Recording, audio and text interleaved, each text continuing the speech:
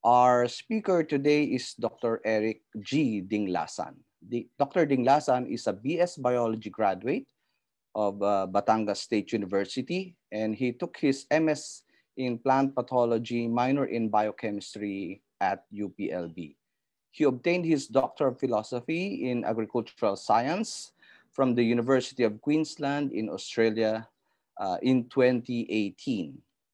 And after getting his uh, PhD, he became a postdoctoral associate at uh, Cornell University's College of Agriculture and Life Sciences uh, during the first quarter of 2019. He came back to work for the Queensland Alliance for Agriculture and Food Innovation of the University of Queensland as a, as a postdoctoral uh, research fellow and now a full-time research fellow. His uh, research interests include uh, the following, uh, integrating quantitative genetics, plant breeding, plant pathology, uh, molecular biology, and biotechnology, and applications of computational biology to solve complex traits for the improvement of economically important agricultural crops. So everybody, let's all give a big warm virtual welcome to Dr. Dinglasan. Sir Eric, take the floor, please. Thank you. Good afternoon, everyone. I'll start sharing my screen.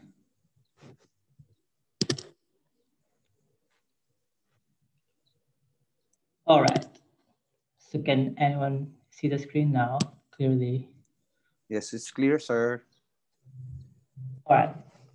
Um, first of all, thanks, Sir Flor, for that introduction. And again, I would like to thank um, UPLB National Museum of History for um, inviting me here through Dr. Jen Yem.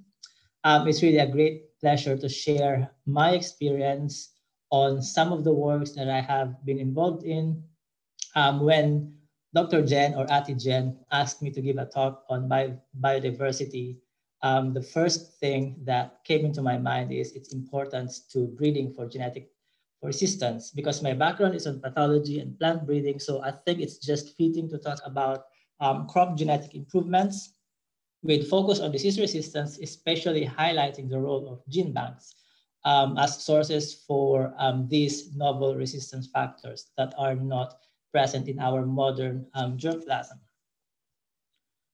Um, so this is the University of Queensland at St. Lucia in the beautiful sunshine um, state in Queensland. Um, this, especially actually, I'm connected at um, QAAFI, this is a research institute at TUQ supported by the Queensland government, and this has four main research um, themes represented by different centers. Um, but before I begin my talk, I would just like to give special mention to my um, bosses, Dr. Kai Fels, Professor Ben Hayes, and Dr. Lee Hickey. Um, all right, so to begin with, when we talk about plant diseases, one of the overarching goal is to develop a sustainable disease management. Because from um, what we learn, the disease is a result of successful interactions of these three players, the virulent pathogen, the susceptible host, and of course, the conducive environment. And each of these players is affected by both intrinsic and extrinsic factors.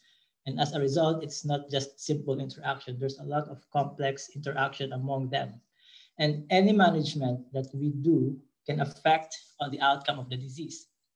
Um, in terms of control, if you look at this illustration, so these circles, um, they represent the different control measures. So chemical, cultural, or biological, and genetic, whereby the size of the circle is the proportion being 100% effective. So the bigger the circle, the more effective they are. And as you can see, genetic resistance has the highest proportion meaning they are more effective control to the other um, compared to the other control measures. Um, so then when we talk about breeding for genetic resistance, we have to consider the type of resistance we are dealing with because they act differently. And obviously they, has, um, they have different implications affecting the genetic diversity in our crops, especially when we know that the host pathogen interactions are also controlled genetically. So this um, um, type of resistance, we can just call them for simplicity, um, qualitative or quantitative resistance. Um, when we talk about their genetics, we refer to qualitative resistance as major gene or those with, uh, with large effects or single or monogenic gene compared to quantitative resistance where they only have uh, minor genes or those with cumulative effects and they are called polygenic, so many genes. In cereal crops like wheat, barley, and sorghum, um, they are called seedling or adult plant resistance because their effectivity is expressed according to their um, growth stage. Um, also, it is important to um, remember that the disease outcome depends on the pathogen lifestyle. When I say lifestyle, meaning if they are biotrophs or those um, microorganisms that live in the host or those necrotrophs that essentially kill the host. And because the resistance um, response um, um, can either be dominant or recessive, depending on the interaction of this pathogen. And historically, from, from in, in the past, the use of genetic resistance has mainly focused on the qualitative resistance because um, they are easy to manipulate. And although they are very effective, this has a long-term drawbacks, especially um, putting constant pressure to the pathogen, so allowing them to constantly mutate or evolve Thus, if you've heard about the um, boom and bust cycle, where the resistance genes are overcome easily by the pathogen, thus the resistance are not being effective.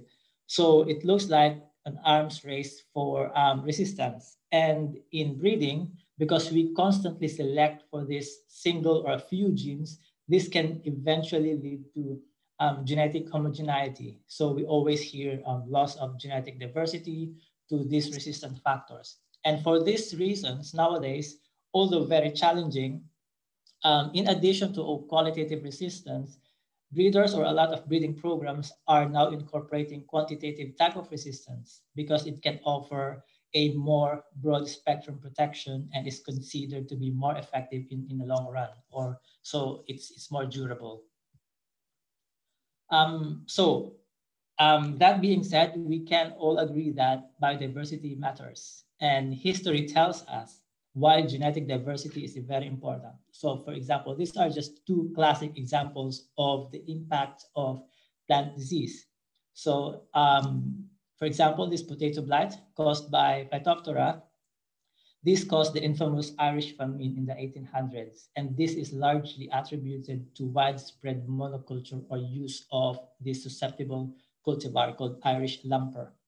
And in our modern times nowadays, you've heard about this um, Panama disease, which caused a global threat to um, Cavendish banana. So this is like history repeating itself because the pathogen is similar to the epidemic observed in the 1960s when it wiped out the Gros Michel, which um, was the popular um, banana grown back then. But this time the pathogen has evolved and now um, threatening the Cavendish. So um, with that being said, um, we acknowledge the importance of genetic diversity and such a cliche that we humans are the victims of our own success because from the past or even early humans, when we learned agriculture, we have been domesticating crops by selecting what suits our purpose. So however, um, there are advantages, but still there are trade-offs. Um, so for example, in the process of selection, we are compromising the genetic diversity. And in a sense, although we can see crop diversity, we are losing their genetic diversity in some way. Um, for example, um, just looking at the colors of this table, um, I just want you to focus on the on these um, three colors, red, green, and yellow. So this table shows the list of wheat cultivars grown in Queensland. And in the green colors, they tell you these cultivars are good in a particular trait. The yellow ones are the, the moderately good, and the red ones are the bad ones. So although there are different cultivars out there, we can see that um, they are good in a particular trait. These same cultivars are also susceptible to diseases. So for example, in this um, um, boxed um, trait, yellow spot, no varieties are resistant. So when we um, when we are breeding for this disease, the question now is where can we find new sources of resistance when the resistant factors are not present in a modern cultivar? And also, you've heard this in several webinars for sure, that we are constantly um, facing these challenges, the growing population, changing climate, um, that's affecting the crop productivity, the inherent long breeding cycle, although genotyping cost has dramatically decreased, time is still the limiting factor. And of course, the um, genetic diversity of our crops. So then in the next slides, what I really would like to share with you are um, some of the strategies in breeding for resistance, especially highlighting the role of gene bank collections as sources of new resistance factors. Um, first, I would like to talk about introgression breeding. So this is basic, basically how we introduce new um, genes into our modern collection or modern germplasm. But how do we really utilize genetic factors from exotic sources and introduce them to our modern varieties? Um, and second, we, um, I'm going to talk about the integration of genetic algorithm or computational biology or this um, artificial intelligence to help us come up with a better or improved breeding strategy. So our um, approach stems from the challenge that I mentioned previously um, is based on this ultimate dream where we um, improve our um, um, crop genetics in the shortest possible time. And also just um, to give you um, disclaimer, I won't be talking or covering any, any breeding strategies involving genetic engineering or um, CRISPR or anything that involves biotech. So moving on. So this is um, just a snapshot of our approaches. So first is speed breeding. So this is um, optimized at UQ um, is actually inspired by NASA. So when they grow plants in space station in chambers fitted with continuous light and um, optimum temperatures. So um, as I was saying, this speed breeding technology is actually not new technology because NASA is already, um, they are using this one. What's new here though is the application here on Earth, meaning um, this technology has not been applied in plant breeding or any pre-breeding programs before. So that's why we call it speed breeding. But just um, to remind you, this is not a new technology. Some of you may probably already um, be using this one. Um, as you can see on the video, wheat, this is a wheat crop. Um, when grown under speed breeding conditions, they grow very, very fast compared to those grown under normal conditions and you can actually grow for up to four to five generations per year compared to only two in normal glasshouse or one in the field. Um, on the other hand, we have this artificial intelligence algorithms. So this basically involves high power computing to build models in order to guide us make decisions on how we select parents for our crossing strategies. Um, it is based on the framework of genomic selection, which I will elaborate more um, in the coming slides. But first, um, on the topic of the introgression breeding, I would like to um, share with you what my supervisor would like to say, our success story, because we use this exotic germplasm and we um, um, identify novel sources of resistance and integrate this to modern cultivars. Um, for um, just a quick introduction for this topic, um, I will be talking about uh, a particular type of disease. This is called a yellow spot. See, this is a um, foliar disease of wheat caused by the fungus Pyrenophora tritici-repentis. So um, they kill the host and they live on the dead tissue. So they are classified as necrotrophs. And they do that by producing toxins or effectors or their weapons. So these toxins interact with the host genes in an inverse gene for gene. So meaning resistance to toxins is recessive, not, not like the classical gene for gene where the resistance is um, dominant. And successful infection cause yellowing. So that's why it's called um, yellow, yellow spot disease. And as the disease progresses, they coalesce and eventually the leaves die.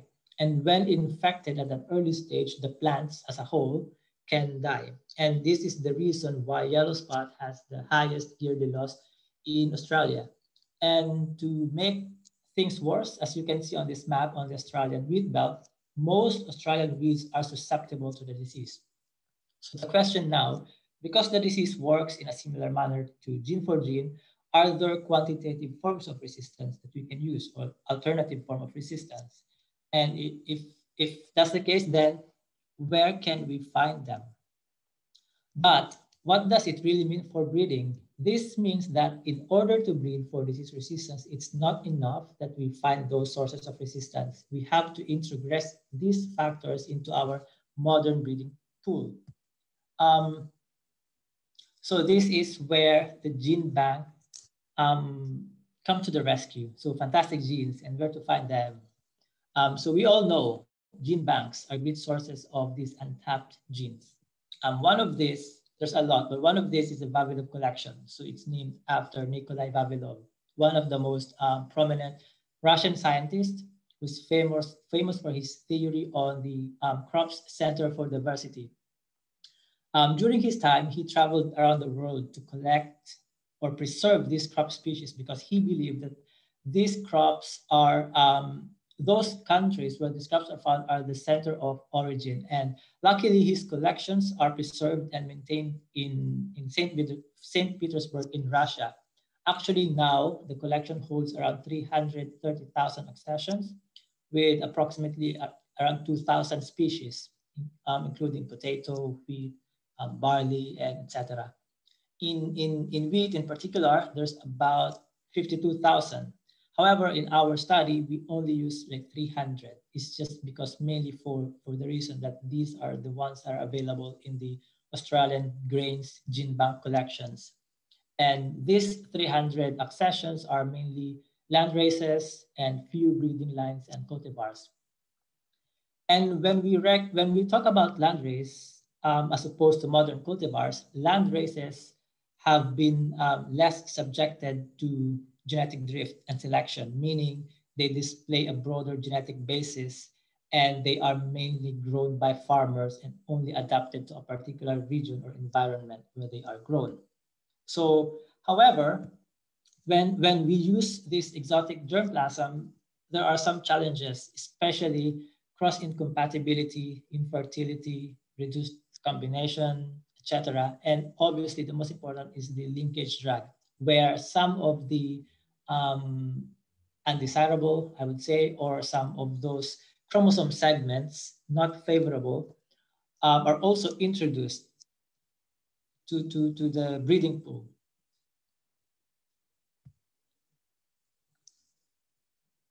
So in this Vavilov collection, we did extensive um, phenotyping.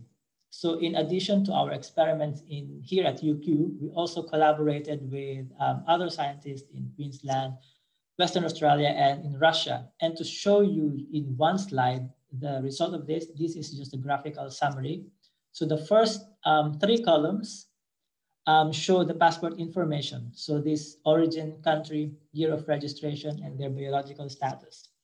And, and just to give you an impression of the diversity of the collection, the first column showing the country of origin, they were collected um, from about 30 countries from all over the world. And, and you can see most of the accessions are from India, Pakistan, and Russia.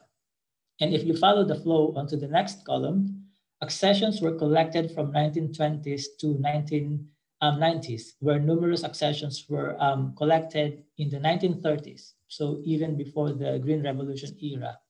And in terms of their biological status, as I said mentioned earlier, a large proportion um, are mainly land races. And there are few breeding lines. And if you notice those breeding lines and cultivars, they were added to the collection just after or during those period where breeding programs are um, just um, starting. In terms of their molecular diversity, when we looked, when we use um, molecular markers or SNPs, we found that they are really, really diverse. And then basically they're clustered in two clusters. Um, so this, um, in this image, you can see the color coding of those lines. The land races are colored in blue, um, breeding lines in red, and the unknown ones, those without passport information are in green. And when we compare these accessions to the modern cultivars, such as those um, in Australia and in CIMMYT, we found out that one, two, two, two main, two main um, messages here. First, the Australian and CIMMYT lines, they are more genetically similar. So they're clustered together. Um, so this means that if we still use them for breeding program or any, any research, they will not provide broader diversity.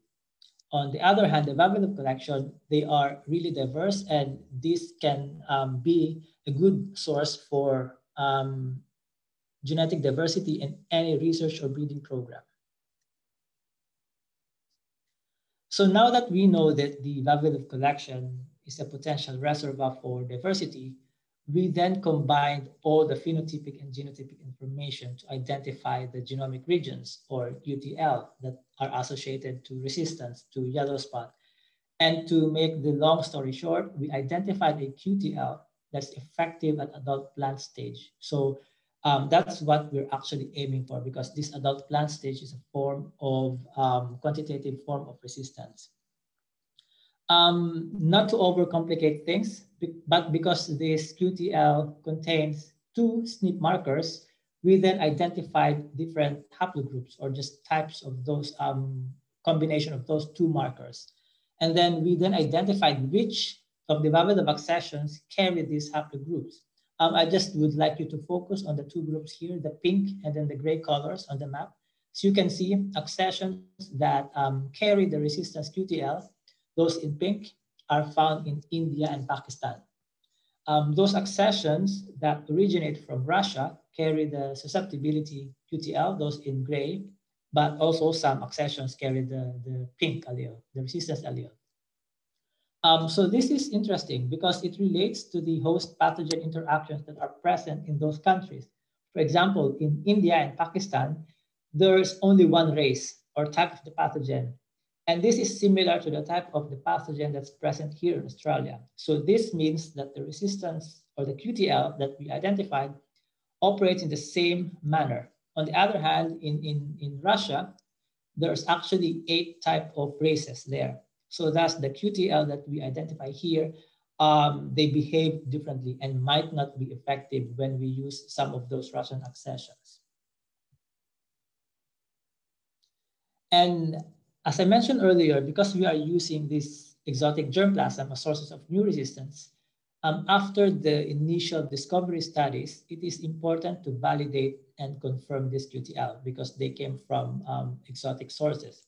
And so um, we then developed this experimental or biparental mapping population, whereby we use this landrace parent and we identified, um, we crossed them, the, those parents with the cultivar um, banks. So this is, the banks is the susceptible because when you, when you make a biparental population, those parents should be opposite on, on, on, on regardless of what trait you're looking for. So the, the other one should be resistant and the other parents should be susceptible.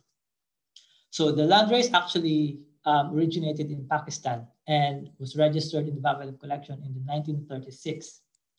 And this process was done under speed breeding conditions and they are all advanced for phenotypic screening and field testing, as you can see here in the figure. One of the um, um, important outcomes here is that through this um, speed breeding, we're able to develop this mapping population in just a short time and validate the effectivity of this new QTL.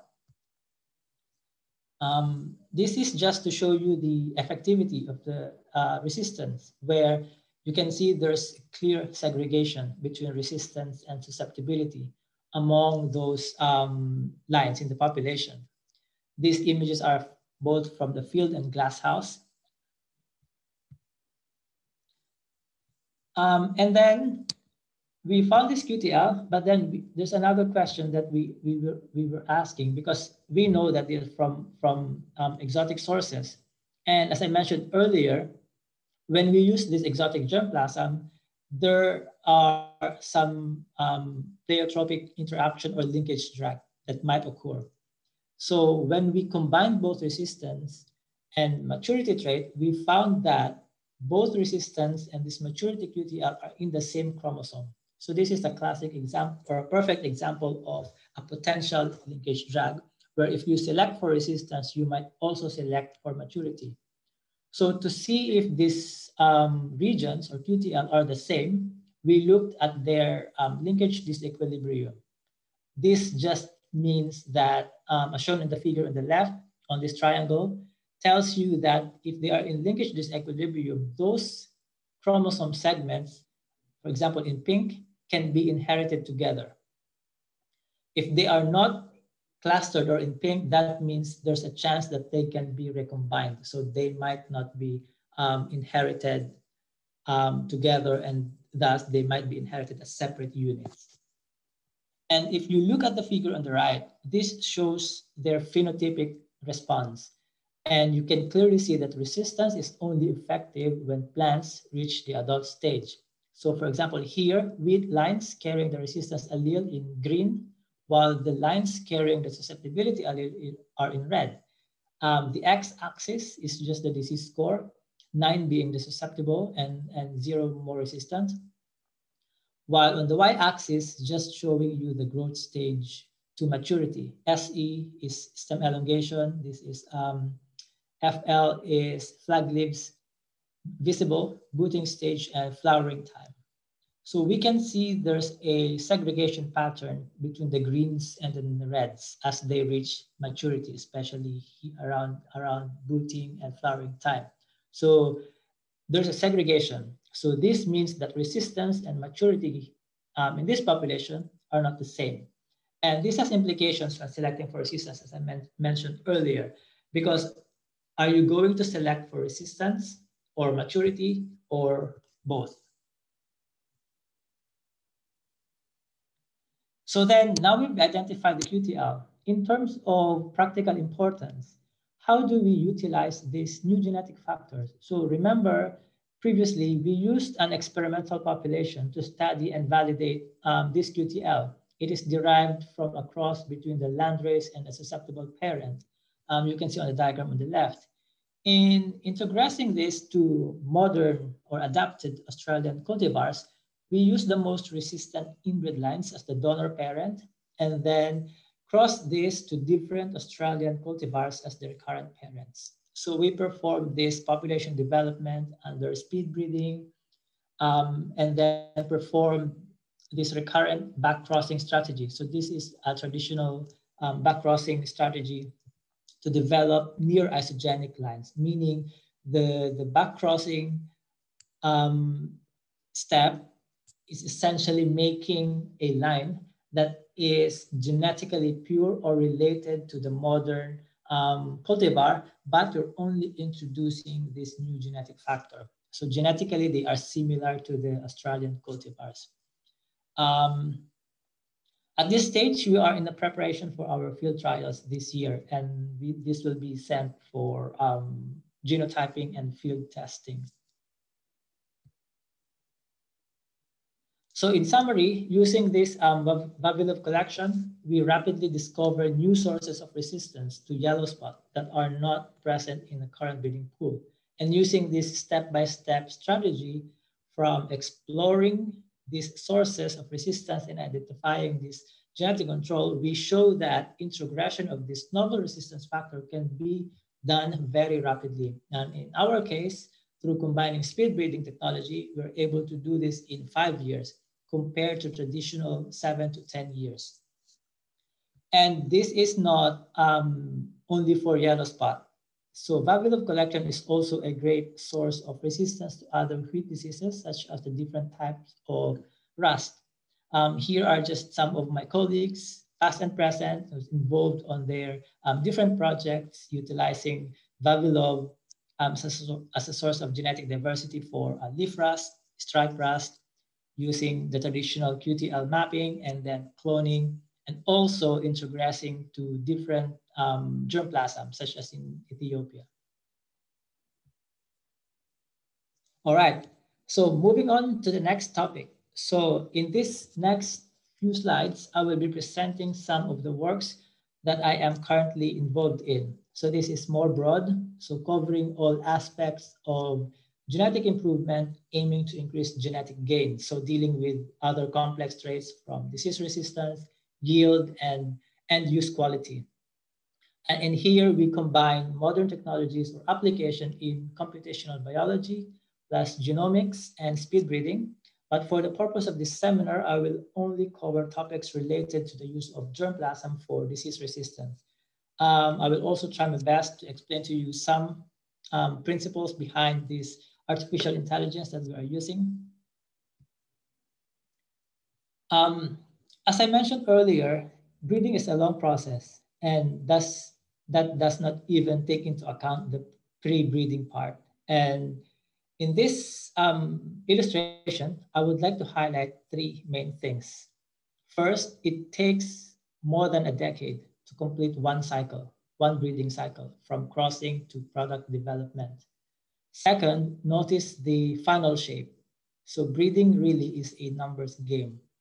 And lastly, the parent selection, which parents to use for the next cycle. So normally selection is done after extensive field testing. So meaning it could take for up to nine years still to select for the best performing parents and use that for the recurrent, um, you basically recycle the parents for the next crossing stage. And as you also noticed from the previous topic, I was generally referring to only a single trait, so only one. So yellow spot. Here, we face the same challenges when, when we use the gene banks as sources, but if we were to combine more than just one trait, how do we stack favorable use from multiple traits in the shortest possible time?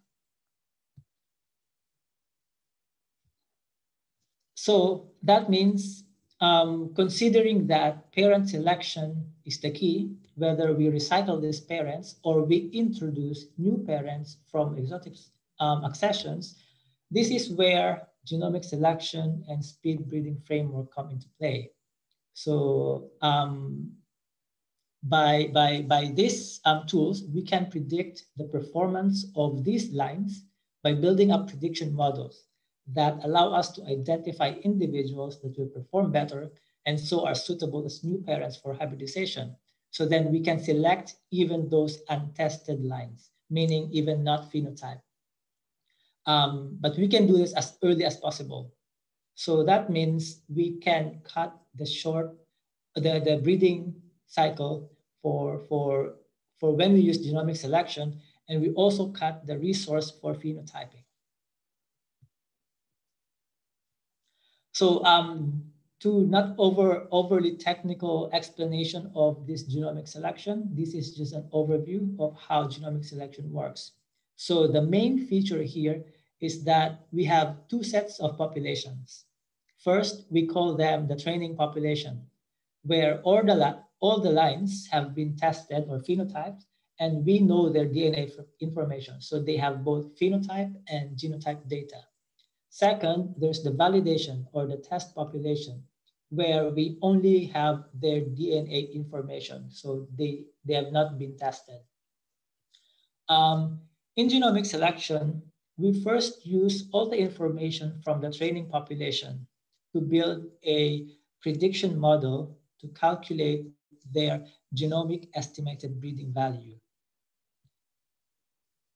So then after, after calculating that, we now um, test how accurate the prediction models are by correlating their actual data versus the predicted breeding value. This predicted breeding value is basically just the sum of your marker effects. So I will not um, discuss this into detail, but to put it simply, we test if the prediction models are good or bad. If they are good, then we feed in the genomic information from this validation population. And then again, we calculate their estimated breeding value. And from this estimated breeding value, we then now can make selections.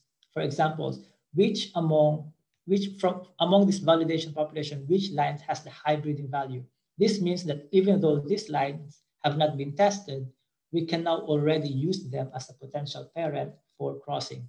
So um, this is just one of the applications of genomic selection where it cuts the time and cost of field phenotyping early on in the breeding program. Um, but why do we care? So we all know that pathogens are constantly evolving, so overcoming genetic resistance.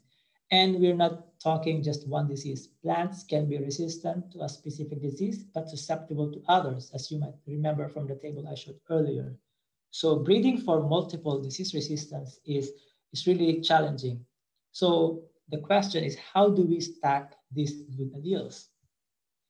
So if you look at the figure here, we have four lines of varieties, and each they carry good allele. If in this example we cross one and two and three and four, we combine the allele. On the F1 stage, we, we have this um, population where, or line where they have a combined allele from both parents. But then if we stack them all together, then we, will, we would have to do another series of crossing. So in the end, you'll end up with all four alleles in all combinations. So this looks manageable because we only have four parents, only one offspring of each cross, and only one stage of intercrossing. But in reality, in most commercial breeding program, the normal size of the base parents is 50. So these 50 are already the ones that are good. And if you were to stack all good alleles, you would cross them with all possible combination, you would end up with 12,250 lines. But you would have to do several stages of intercrossing to stack all the uh, alleles from the 50 parents. So the number would grow exponentially and it's really impossible considering all the effort and crossing time, space and cost. So then this is basically what inspires us to come up with this fast stack approach. So illustrated in this simplistic chromosome figure where we stack all the favorable chromosome segments and create this new set of germplasm carrying these um, combinations. In order to do this fast stack approach, we are combining different applications of genomic selection to build chromosome segments, um, genetic algorithm through AI, for selecting the best parents and the speed breeding to, to advance the generation very quickly. Um, but just to illustrate the theory in simple terms, how we define the chromosome segment. So this is the extension of genomic selection. So imagine this is the chromosome with only 30 SNPs or markers. First, we calculate the effect of individual SNPs on a particular trait, for example, resistance. And as I said, this is the extension of genomic selection because we account for all the marker effects. Um, and then second, we define the chromosome segments based on their linkage disequilibrium. So again, um, this is statistically how closely tied the markers are, meaning in theory, they can be passed on to the next generation because they are not easily subjected to recombinations. And we call these chromosome segments the blocks. You can see in this purple um, colors. And each block can contain either one or more markers. And then lastly, we sum up all the SNP effects and then we calculate their variance.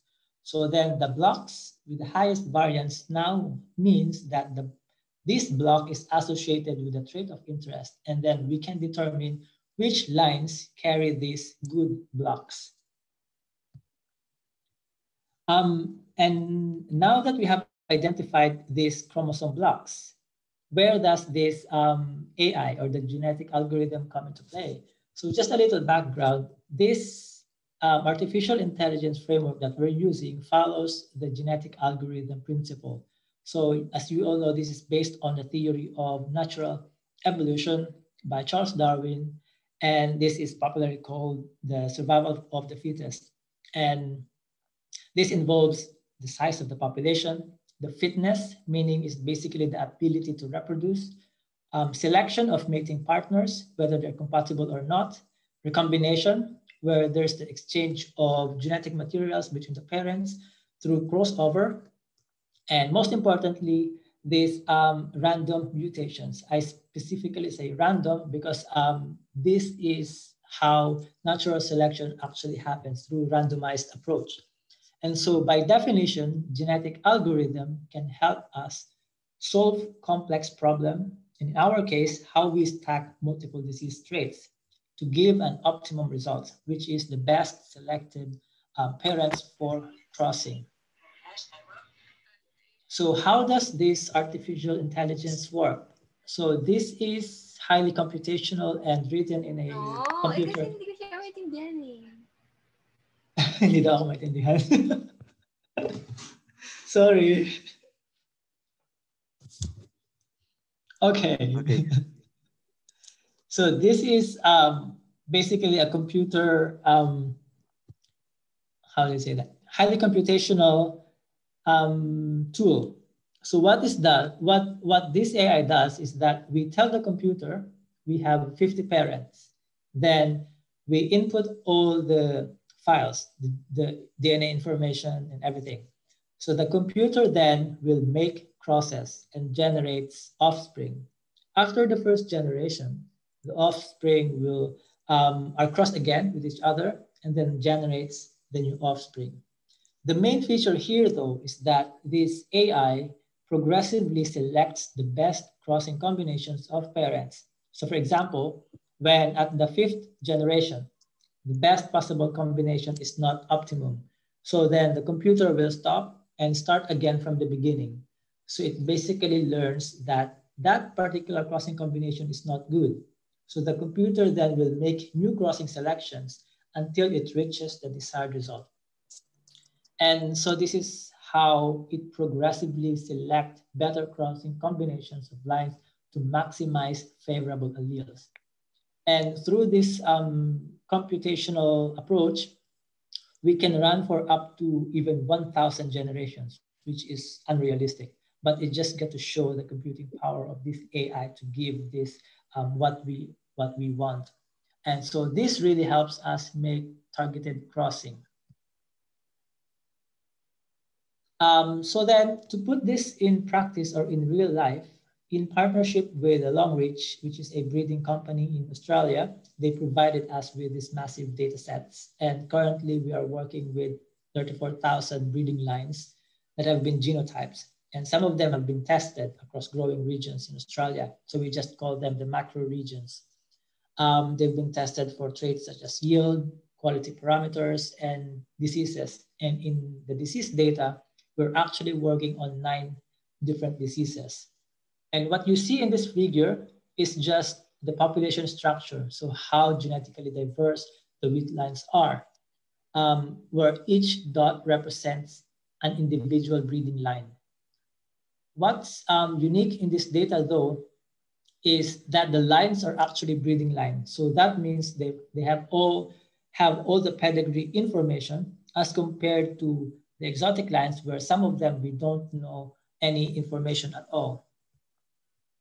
So um, from these lines, if we select those best performing lines, we found that they are clustered together. So colored in red and maroon, just to represent the two types of growing regions where these lines are grown. So this is actually the current practice of selection, where you cross good by good. Um, on the other hand, the blue and sky blue colors represent those lines that are selected by the AI using this genetic algorithm. So it is important to note here that these lines, although they carry the good alleles, they may not necessarily be the top performing lines. So what other message can we get from here? Um, so in the good by good strategy, because they are clustered um, together, you can basically exhaust their genetic diversity very early on. So that's a trade-off. On the other hand, using these AI selected lines for crossing, they are scattered, meaning they are more genetically diverse and not clustered. So you are not losing the genetic diversity on your um, program.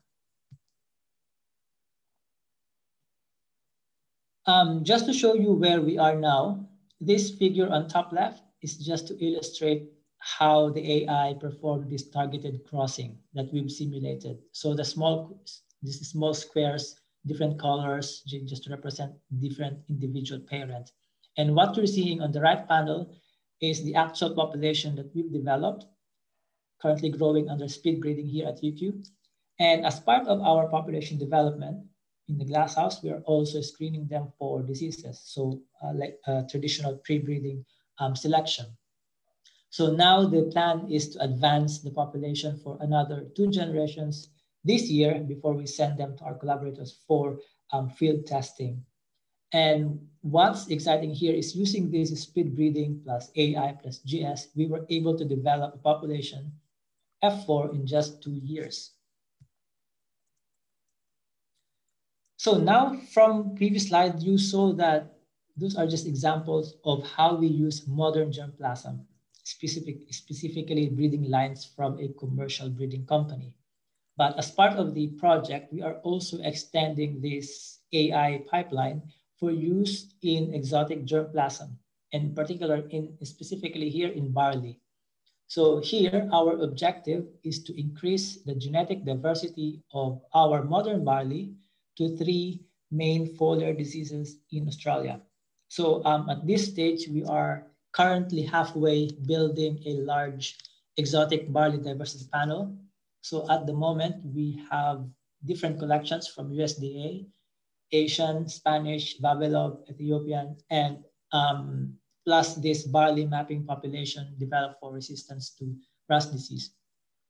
Um, what you see on the figure on top is just an example of how the spike diversity of barley is from different colors, from golden yellow to black. And this map just shows the geographic origin of some of the barley accessions from the USDA collection. And they are color coded according to their um, different growth types.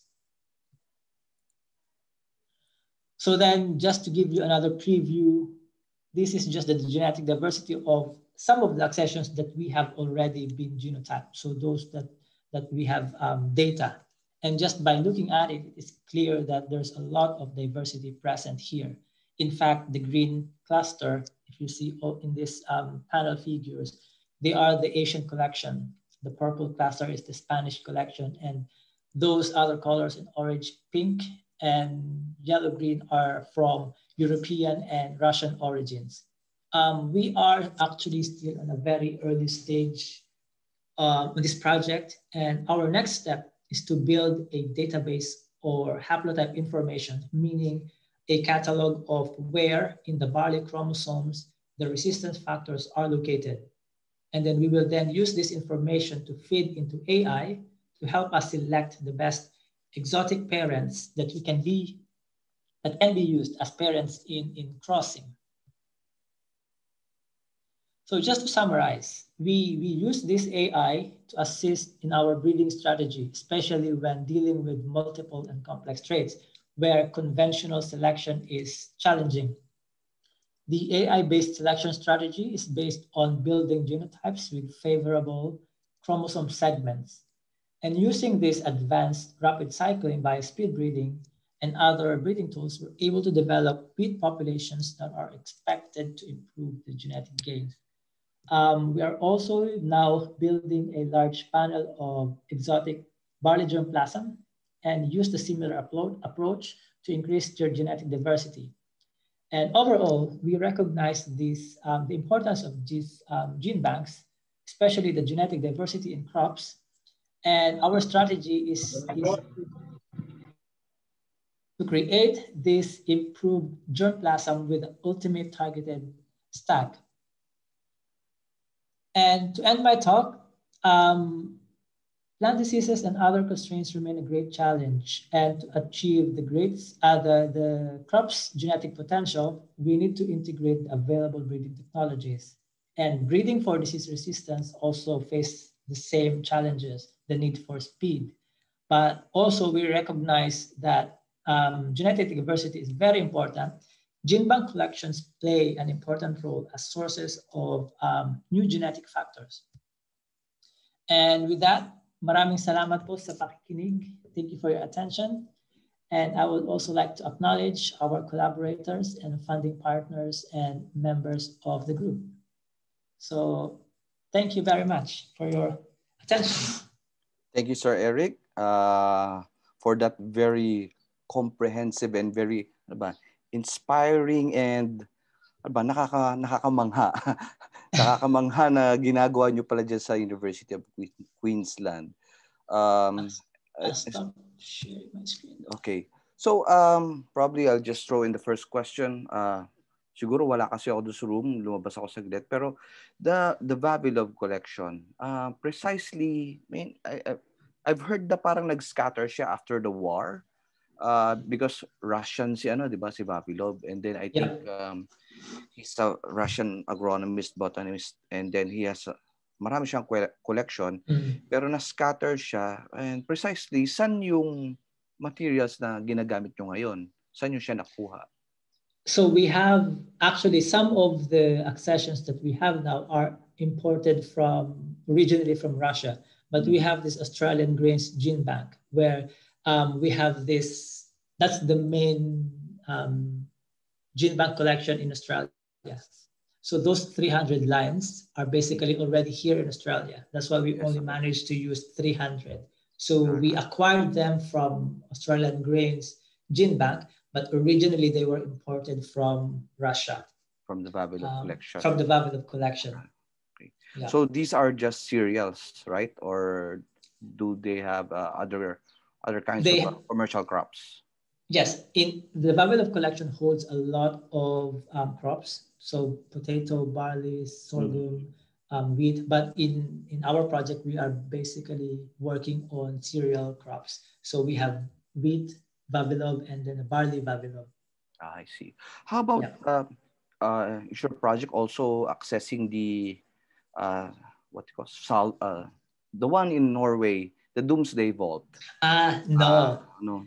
No, no, we don't have that accession. I'm, I'm not too sure if they actually have that in Australian grains. Mm-hmm. Um, yes, but we were just unfortunate to have access to the Vavilov collection. But yeah, it would be really interesting because yeah. in the new barley project, we have barley from USDA, barley from Ethiopia, barley from Spain, barley from Asian collection. So mm-hmm.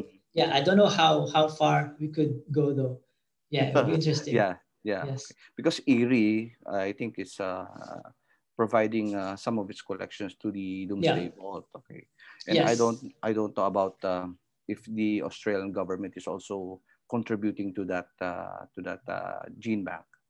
Yeah, I'm not I'm not too familiar how the gene bank works here in Australia because the resource that we have is actually not like the, we're not li- literally partnering with them. We just use yes. their accession. So right. um, I'm not too sure about okay. that. One. So there, there's a question from Maria Franz uh, de Vergara.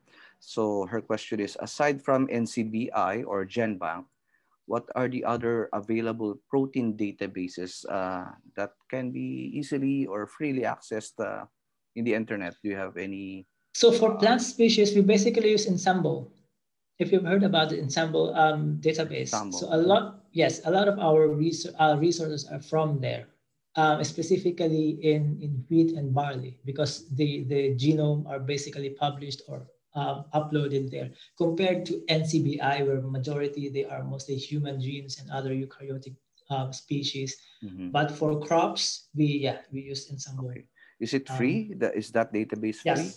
Okay. Yes. Um, the good thing though, you can you can make your account, and then every time you submit a job or every time you use that, you can just you save it on your on your account. But it's it's free. But you can also contribute to that. Uh, you can yes. contribute sequences to that, uh, to um, that database? I'm not, too I'm not too sure. I think you have to, to contact those developers though, because I this see. is um, a collaborator, a collaboration between different projects um, from all over the world. Mm-hmm. I yeah. see. So uh, uh, from Roden Carlo Lizardo, uh, he asks, are there any trade-off or trade-offs or undesirable effects when stacking multiple resistance genes on wheat? Um, so in, in simulation, we don't see that one, but it's, it will be interest, interesting to see how they actually perform in the field. So that's really the, the, the, what we're aiming for so that um, when in the field, we won't or we shouldn't be expecting any trade-off because all the data that we put in include yield data, disease data, so everything will be in there. But yeah, you're right. It's really interesting to see what's um, the actual performance in real life because some of these are also just um, using the computer program. So it's in, in silico, basically, simulation. So it might not work, it might might work. So we, we yes. Of course, you you should have uh, some sort of you know a series of trials like what, yes. what we do here in the Philippines. I don't know if it's still uh, it's also the practice in in Australia, but we have these uh, regional and national yes. cooperative trials uh, yes. before any no any uh, commercial can right. be released. Yeah, okay. so in Australia they call it national variety testing. So mm-hmm. there's a mm-hmm. series of testing in different growing regions in different years before you can actually release a product. Yeah. So um, Miss Elsie Cacho says, uh, Sir, your crossbreeding selection on wheat, uh, is it also applicable to common vegetables? Um, is your crossbreeding selection technique on, on wheat? Yes. It is it also be, applicable to common vegetables? The principle should be applicable to any crop species because the principle behind in selecting the parents should be um, similar across all species. For example, that's why now we're using barley to apply the similar pipeline. So this um, crossing strategy was first developed on wheat, but we're using this on barley now. But essentially all this crossing strategy, depending on your program, should be the same. I see, okay. So Roden Lizardo comments, um, just a side comment. Uh, it is very impressive that uh, knowing that we are still in the idea of marker assisted selection for breeding while uh, I think it's here in the Philippines, we're still doing marker assisted selection for breeding while uh, at your uh, institute, uh, you're already using AI. So um, do you know of any other uh, institutes or countries or uh, improvement um, programs that are also using AI right now? not the AI, but genomic selections already been um, implemented or being applied or being used in different countries, different universities, different breeding companies. So um, marker-assisted selection, though, is good if your trait, uh, you're dealing with qualitative or like few genes or single genes because you're talking about few markers. But genomic selection, though, is for complex traits where you can't just use a single marker. So that's why it's all, all the performance or the effect of, the, of that um, in a particular trait. So then, yeah, genomic selection, but for AI, I think we're quite unique in that, in that sense because um, we don't know from like other institutes actually using AI. I think this is new for us. Um, yeah. Yes, because this is extension of the genomic selection framework a lot of people define their chromosome segments um, just by selecting the entire chromosome. But here we just use the blocks of segments and then just feed that to AI to select. Because traditionally, you can just select based on the performance. But for us, because we deal with complex traits, we want to make sure to um, make a targeted crossing, but in, in, in such a way that we do that effectively. And how we do that is using this um, artificial intelligence. And actually, this is um, done, or these predictions done on different um, fields as well. We just in, in crops actually we are behind behind on that. A lot of um, like human mm-hmm. studies, animal studies, they do this in genomic selections and stuff. But uh, in crops we are behind um, on that one. And uh, we're just applying these techniques in crops. Um probably ano lang parang question lang. Is uh, since gumagamit na kayo ng AI um, can I know or is it possible to know if um, Australia has already released any uh, commercial uh, commercial product using AI uh, that involved the use of AI in the selection? No we actually the first one. oh, I see. Okay. okay. yes. So in how many years would you do you think that uh, you will be able to release your first uh, commercial product on so, wheat? So what happens currently, we are aiming to provide the seeds that we develop in the glasshouse. So that's the pre-breeding aspect. We're aiming to send this this year, those states, mm-hmm. the population that we developed. And then from there, it will still go into different um, field trials, extensive. So I don't know how long it would still take, maybe five years. So it's still a long, long way for us to be able to release an actual um, product, like but an actual variety. Yeah, but, but, at least, at least you're probably around 50, 50 yeah. 60% of, uh, of the way. Okay. So the good from, thing, okay. The good thing though is we, we, we cut the length of pre-breeding. So we develop um, this population already in F4 for two years. Normally, if you would do it in normal glasshouse, it's probably be double mm-hmm. because you can only grow two yes. generations per year. So, yeah, speed breeding. Because speed. Okay. Yes, but still, you still have to test this in the field. Mm-hmm. So from Darwin, Landicho, how do gene banks ensure that the exotic or quarantine pests or diseases are not spread through germplasm trade? So do you have yeah, any so like protocols or biosafety measures on that?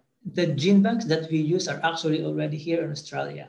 So we don't need to acquire any import or quarantine measures from other countries for, for us to be able to use this. So what we use here are those collections that are already available or already um, acquired in Australia. So as I mentioned, it's the Australian Grains Gene Bank collections. So they hold their own um, gene bank collections. Mm -hmm. So I'm not too familiar with how they, they acquire their permits though, but you're right. So these are for sure, they already have their own um, protocol, especially in Australia, that even just when you bring plants, your own, when you, for example, me, when I travel to the Philippines, even just bringing good foods, like foods, the strict, mm. the quarantine here is very strict. Very strict. So imagine about this um, collections, gene banks. So for sure they will have strict um, uh, regulations as well. Of course. Uh, from Justin Christian Mulig, uh, he asks, are there different biotypes of yellow rust in wheat? Does your identified QTL uh, address multiple resistance? Did you also consider gene pyramiding of multiple QTLs with significant effects? Yeah, so in Australia, we found that some of the resistance genes that already um, are available, they are not effective now on some of the um, types or the strains of wheat because they overcome it. So that's why in, in most of the breeding company, they do stacking, pyramiding of wheat. There's actually the CSIRO, they, they work heavily on rust. They clone the genes and then they stack them together. Yes, because some of the genes, especially now, even like two years ago, I think some of the collections, some of the rust strains that my colleagues have been working, the, the cultivars are now are not resistant anymore because of that new type of rust. So you lose that effectivity. And yeah, stacking is one of the is the or I mean pyramiding is, is one of the um, strategies, but that's effective if you know or clone the gene that you're you're you're aiming for. But in in in most cases, some of these genes are not cloned yet. For example, in yellow spot, we don't know or we haven't cloned that one yet. We just identify. We just know that they are there are genes available, but we want to use that as soon as possible. So instead of waiting to clone them, and it will take years still, so we just introgress them. But yeah, um, if you're dealing with multiple uh, single genes, good pyramiding or pyramiding is okay or, or, good strategy. Especially, I think now they have five stacked genes already in place because they've already cloned. Mm -hmm. So from Dave General, um, uh, this is a related question. Uh, would Australia's plant quarantine rules prevent you from importing promising germplasm from Vavilov or other collections? Um, so I can't say, um, I don't have any concrete answer to that because mm -hmm. again, um, all the collections that we use are already present here in Australia. So we all don't right. need to deal them from importing to other countries. Um, yeah, but for sure they will probably prevent you, especially if those accessions are from um, countries where there's a lot of disease going on, especially um, safe or clean sources are to be imported here in Australia. Okay. So do you have any more questions from the audience? Any live questions? Okay. Uh, grab your chance to talk with uh, Dr. Dinglasan regarding uh, these uh, technologies and uh, techniques that they are using in Australia, uh, using exotic, what do you call this, properties from exotic collections. Like, you know. Actually, my it's very admirable because I think in PhilRice, I, they, they had a project back then, you know, collecting heirloom rice.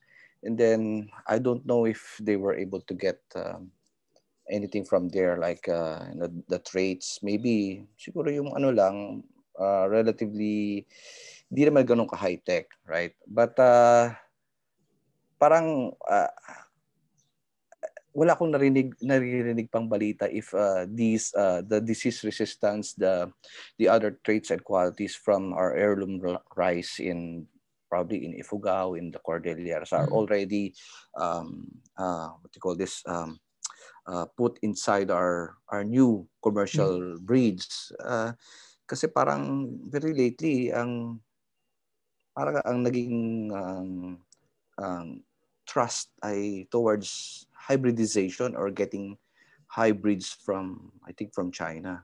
So what mm-hmm. are your thoughts on that? Um, I think it really depends on the objective. Because if you already have that source of trait or genes in your modern um, collection, then it's a lot easier to manipulate, it's a lot easier to handle, rather than going back to an exotic germplasm. Mm-hmm. I think I think so. Yeah, this is just different alter, uh, strategy because some of the traits that we are um, working on, some of them, or the modern um, cultivars that we have now, they don't have that trait. So, but hybridization, yeah, it's it's it really depends on what you are aiming for. Yeah.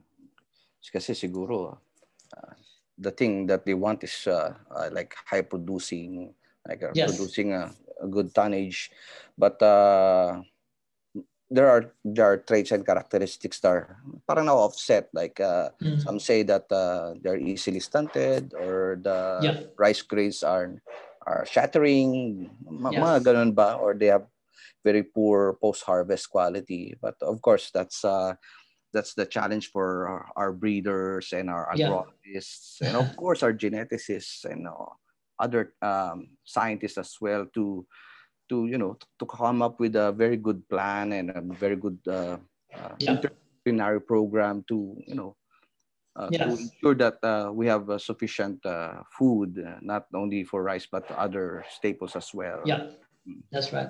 Because that's why I mentioned earlier the difference between the actual breeding line and the exotic line. Because in the breeding line, you already have their pedigree information. So they are all coming from what we have now. So they are all part of a breeding pipeline.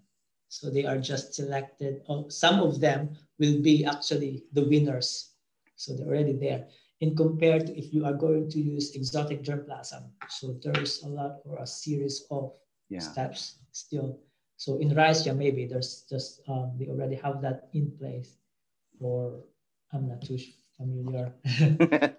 anyway, okay. Uh, so we have no more questions in the chat box, So probably uh, it's time to move on. And uh, on behalf of our director, Juan Carlos T. Gonzalez. Uh, we are thanking you, Sir Eric, for taking time off from your work yeah, sure. and uh, joining us here in the Philippines uh, to share with you, uh, to share with us um, these interesting uh, uh, you know, techniques and developments in Australia with regards to you know, using those exotic collections, you know, gene banks, um, to you know, to help develop your uh, food crops. Okay, so with that, uh, let we we will just present you a virtual certificate of uh, recognition. it's uh, one of our traditions here. So let me just uh, share my screen. All right.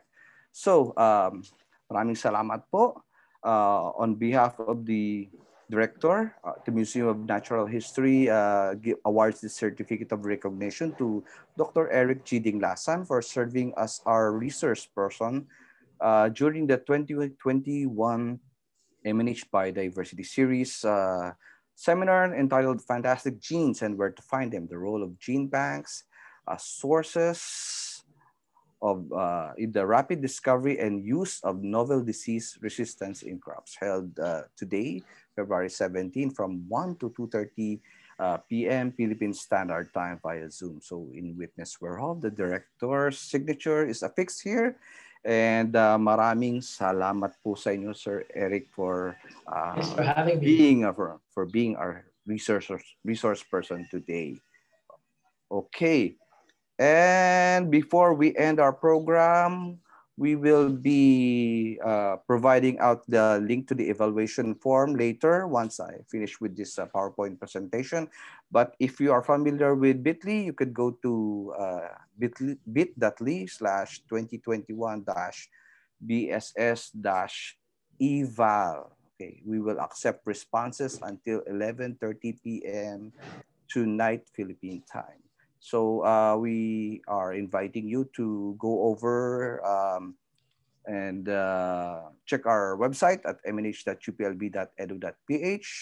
Uh, if you have any other questions or uh, comments, you could email us at mnh.uplb.edu.ph. We are also um, you know, everywhere in social media, so you could look for us in uh, Facebook, uh, Twitter, YouTube, and Instagram. We also have entries in Wikipedia and TripAdvisor. so uh, for anyone who wish to uh, review the, the talk of Dr. Dinglasan later, uh, probably uh, in a few hours or tomorrow morning, Philippine time, we will be posting the recording over at our YouTube channel. So go to face uh, youtube.com slash UPLB uh, Museum. All right.